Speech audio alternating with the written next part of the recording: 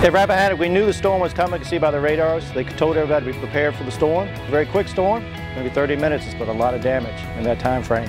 Several large trees have taken lines down in the roads and the right-of-ways. It seemed like extreme damage in some areas. Trees you wouldn't expect to fall be taken out by this windstorm.